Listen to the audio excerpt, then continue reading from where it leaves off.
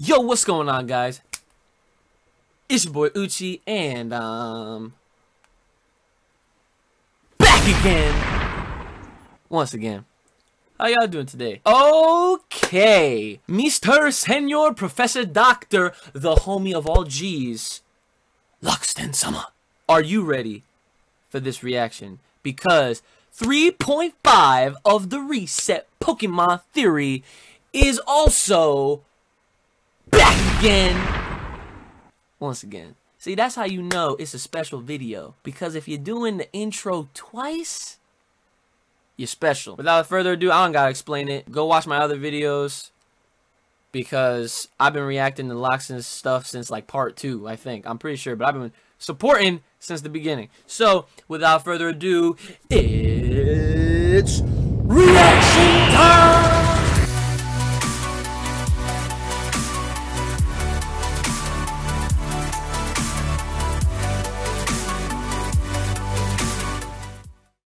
I could do it with one hand.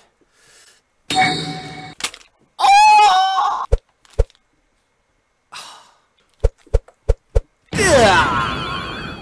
Alright, here we go. Part 3.5 of the reset theory. Lockstin. What you got? I need to get this information to you fast, so I can't give it to you in a call. There's this weird van outside that says not Nintendo on the side. Now, I might be crazy, but I think that's Nintendo. They are listening. I've gotten too close to the answer. So I'm just going to record my thing and then get out of here. If this is the last thing you hear from me, know that I'm probably dead. Alright, Foundation and Ultra Beasts. First, let's recap what Aether is. It's Alright, what's up? Which is also known as soul, spirit energy, life, and even heaven. If you put the Aether Foundation's logo over the alchemic symbol for Aether, it also lines up pretty well. And speaking of all those elements, Alola lines up with it too. We have this first island, covered in rocky canyons, it's Earth. The next one with more water than the other three and even a waterfall, it's water. And next with uh, hot springs, whatever these are, but more importantly the active volcano, fire. And this one with constant rain from the sky and two mountains that go above the clouds, air. And in the middle is the, the earth has its own ether, its own spirit energy, its own soul. And it is located in the black sun, which is the core of the earth. Magma is the blood of the earth, and volcanoes, which are extremely famous for being in Hawaii, are access points to the earth's soul. Yo. Earth's ether. Damn. The symbol of the earth, just like these glowy bits on Yeah, I see it. Zekrom, who supposedly helped create the Unova region. And how do you create land masses? With magma. That's crazy! Core mythology states that there was a previous Earth and a previous cosmos before ours. I'm done. different universe, and that one ended, and when it died, it expanded again and gave birth to ours. Exactly what I've been proposing what Sun and Moon might do. And in that Hawaiian creation myth, there was only one survivor from the previous universe. Octopi. Hello? Floating around, the popular one being that they are these three. Yep. They do look related. And a side note, take a look at this symbol. and these two undoubtedly are similar. Its movements resemble those of a young girl. And a mysterious girl that will play an important role in the story. I'm. Hmm? Oh my god. The pose. Well, Gladion does have torn up clothes, which would make sense if you Hulk out all the time. If you were this giant mosquito trying to fit into a small human body, you'd have Parkinson's too. All three of these people, Lily, Gladion, and Lusamine, dislike Pokemon fighting.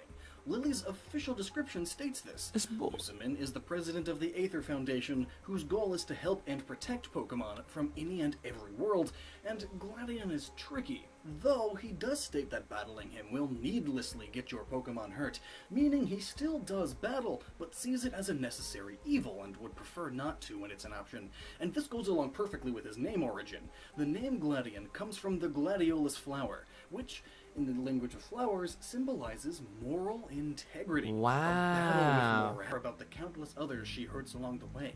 Hmm. The greater good, you know. At least from her perspective.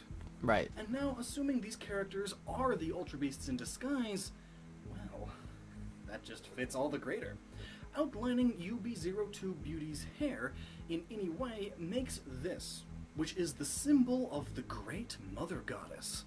The Yoni. Various ancients had various versions of What? But Yoni would pass others through the statues to symbolize baptismal rebirth.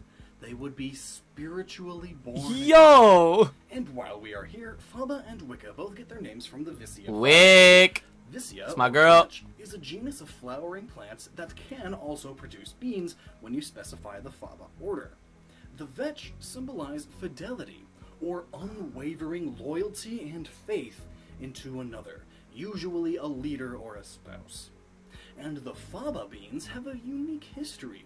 They were one of the very first plants cultivated by humans, and eventually, among other beans and plants, became a staple of early Middle Eastern farming. The plants would grow a white and purple flower that would turn into green beans, and then would turn into a dark reddish maroony color. What gets really interesting, though, is that these beans are toxic to most of the animal kingdom. Humans are one of a few beings that are capable of eating it. And this is because of a toxin known as leucoagglutinin, which looks like this. Oh my god! That's the. Oh! Maybe not. That's a st- not. The Aether What? Foundation is a danger. Choices of the Aether Foundation, they are choosing similar colors and design elements to Arceus, white and gold with spiky bits and such. I did. Why didn't I notice that? What if the reason I'm a freaking idiot. What if they are mainly after the starter Pokemon to make their own Arceus? More on that later. Dominating invasive species. The mosquito is the deadliest animal on the globe, and they are everywhere. Yeah, they suck. Though native. And now, what is the opposite of a globe dominating invasive species? A very endangered species losing habitat. What if I told you that this is what the starters are based on? Now, I know what you're thinking. A sea lion, that Rowlet is based on the Pueo, a Hawaiian owl that is indeed endangered. Next, we have the Hawaiian monk seal, one of two mammals endemic to Hawaii and also very endangered. Wow. And I know Poplio is a sea lion, not a seal, but Squirtle goes from being a turtle to a tortoise. A sea lion can evolve into a seal. Ha! Then, Yeah. the Iriomote cat, which look very much like house cats, hence Litten's design. But they are not house cats, they are in fact critically endangered mini leopards. And lastly, Rockruff. It could be based on the Hawaiian poi dog, which is often associated with rocks and the ground as it likes digging and eating taro roots. This specific breed of dog is actually extinct today, and all of these animals are endangered What? due to human involvement. Loss of habitat due to humans taking it over, or humans interbreeding it to the point of extinction.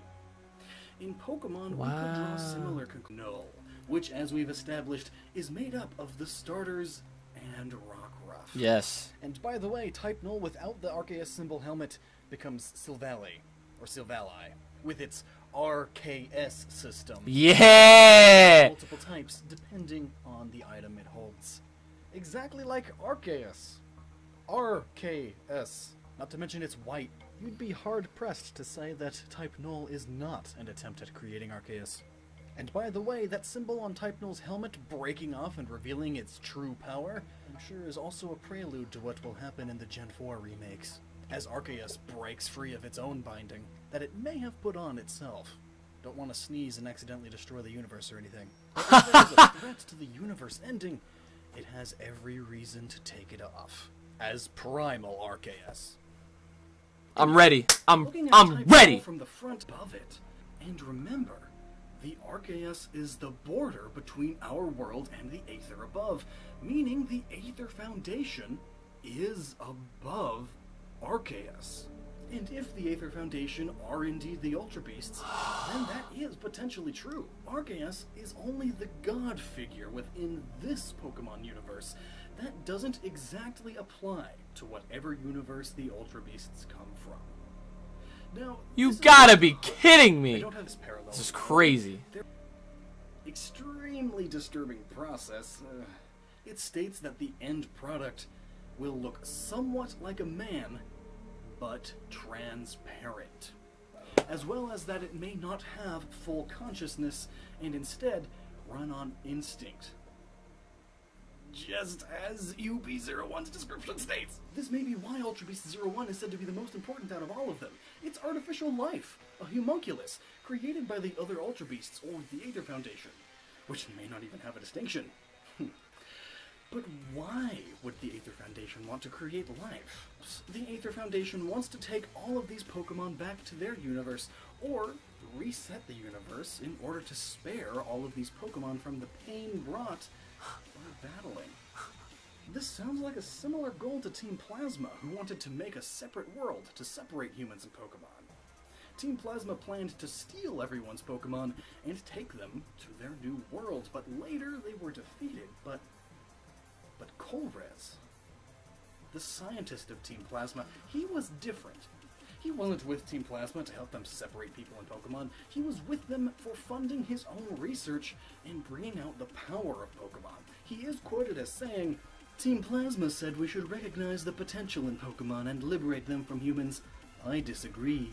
Conversely, it should be humans who bring out the hidden potential in Pokemon. What I desire is to allow humans and Pokemon to directly communicate. So, Z-moves and the Speaking Rotom Pokedex.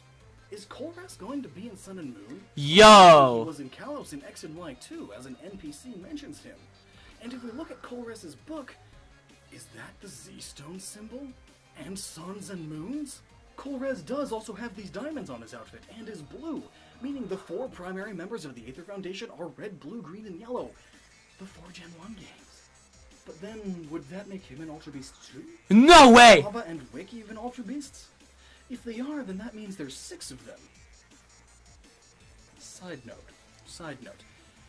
If there just so happens to be seven confirmed Ultra Beasts, I'll go crazy for sure. Why the seven angels of Revelation? Aether is heaven, after all, where God and angels reside, but that's just a side note and a hunch. Not that important unless it ends up being true. Seven of them. It doesn't need to happen, but if it does. and of course, the day before I initially planned on uploading this video, data mining has revealed that there are indeed seven Ultra Beasts. But wait, you say, I, there are eight. I have eyes, I can see that there are eight. And yes, maybe you'll consider this a leap in logic, but listen. There are two different ways we could make this eight into seven. Firstly, there are two UB02s, meaning if you were to label all of these, you would have one, two, another two, three, four, five, six, seven. Each UB02 is exclusive to Sun or Moon, meaning in either Sun or Moon there are only seven. Another way you could think of it is if all of these are Ultra Chimeras, and UB01 is actually a homunculus, artificial life, then that means initially there were seven Ultra Beasts until, during or slightly before the events in Sun and Moon, they created artificial life in UB01. UB01 just happens to have been the first one discovered by the Aether Foundation. Quotes all around that. Now back to the real stuff. So the Aether Foundation is doing a good job at deceiving everybody, right? Uh huh. Everybody sees them as the good guys. Their goal is to save and protect Pokemon from many worlds, but really, in this real world, we all know that they are very likely going to be the bad guys. Why else would they have grunts? And also, Oh. designed vaguely off of Arceus, Pokegod. Hmm. Just like last time, let's dive into the Bible. In Oh, the God. Mark, Jesus explains more signs of the end times, and he says that when the end is near, many will come in his name and deceive the world. Perhaps to further deceive the world, the Aether Foundation tried to create their own Arceus to say that, yeah, we're on Arceus's good side. See, he's here with us. But of course, they fail, which also causes Gladion to leave. Oh yeah, full on speculation here, but I'm pretty sure Gladion was a member of the Aether Foundation. But since his flower name suggests that he has a high sense of moral integrity, he decided that all of this evil experimentation on Pokemon is wrong, and ultimately, so is the Aether Foundation. So he steals away Type Null out of pity for its suffering and joins Team Skull, another team that has the power to potentially take down the Aether Foundation. This is too real! One universe, here is another. In fact, there's a bunch of them. Infinite, like a bunch of bubbles. The borders around the universe are the Arceus, but all that space in between the universes, that could be the Ether, Heaven, the spirit world, where Ultra Beasts reside. It's just a possibility. Oh. Oh, Toby. I'm calling you now. Haha. That van's getting too close. Next time.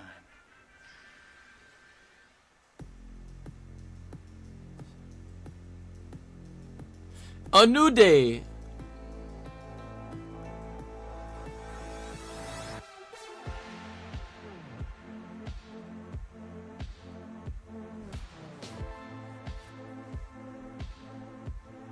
Oh my god. Dude.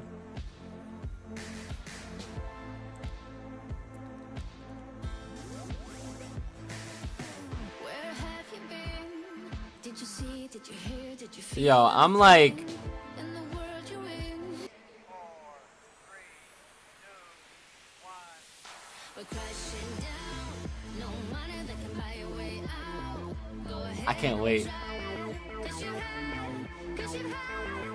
Magearna. Type Null. Oh. If that battle happens, yo. Of this theory, part 3.8. What? Is this turning into f- Kingdom Hearts? Listen here. I was about to say that, too. You will. Oh, Lockstin. That was. I'm like speechless. Like you, you, you sucked the reaction out of me completely. Like I'm just, I'm just, all here is just like, you know what I'm saying? Like again, wonderful job, wonderful job finding more stuff. Man, every time every time I think there there's nothing really more to, to, to even dig, he just keep on digging. The fact that there's a 3.8, yo. Uh, I can't wait till this game comes out. This game is like overdue by this time. I mean, like he said, Nintendo is watching him. He figured the game out. I I might be calling it the reset theory just for the sake of what it's called. This ain't no theory. This is what's gonna happen. This is the foundation, the blueprint. It all comes together in Pokemon Sun and Pokemon Moon. What do you guys think about part 3.5? Are y'all looking forward to 3.8? Let me know what you think in the comments below. Like, share, subscribe. Hit me up on Twitter. Tell me what y'all thought. I thought it was great. We got more info. I am really, I really now believe that the Aether Foundation is really the evil, the evil squad. Like Lockstin just proved it. The Ultra Beast proved it. Like being like above Arceus, like I really hope Arceus when he breaks that. Oh man, I want to see Arceus. My man goes super Arceus. But either way, I'll see y'all next time.